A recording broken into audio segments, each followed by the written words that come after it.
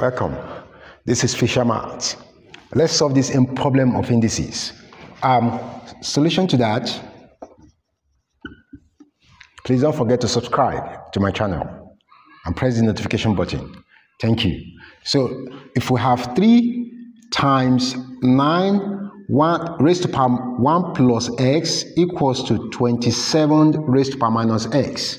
Here is raised to power 1. You cannot multiply 3 and 9. No, because of this power. So at this point, we're going to be using the law of indices.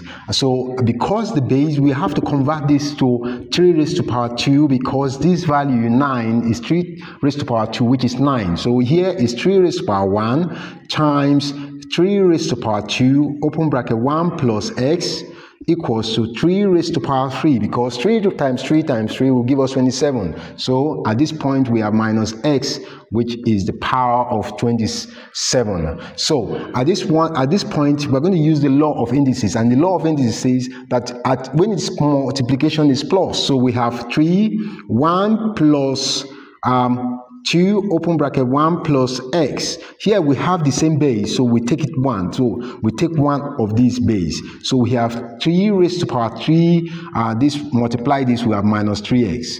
Here, because of this division, uh, the, uh, the, the equal to sign, we can take care of this. This we cancel of this. So we have 1 plus 2, 1 plus x, 1, uh, 2 times 1 plus x, 2x we're going to multiply this times this, we're going to multiply this times this, and this will give us um, this will um, we have minus 3x because this has been taken care of. So let's open up this bracket 1 plus using distributive law.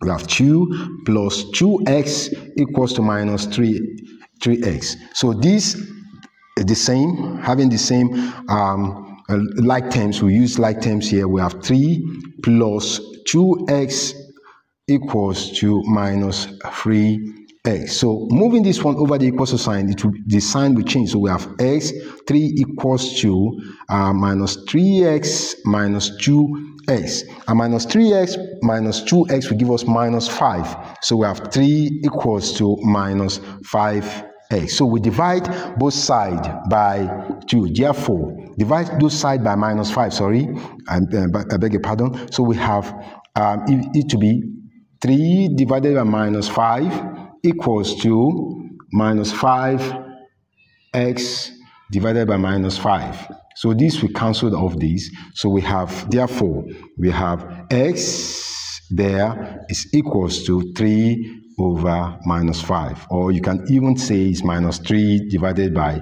5. The same thing. They're just the same thing. The values of x are the same this is equals to this because when you say minus plus times minus is minus. So therefore whether it's up whether it's up or down it doesn't really matter as long as there's no minus here. Suppose there was a minus here and there's a minus here it's going to be a positive sign it's going to be positive. But um, as it stands right this whether the minus is up or down it doesn't really matter. So x, the value here is s is equals to 3 minus 3 over 5 or 3 over, over minus 5.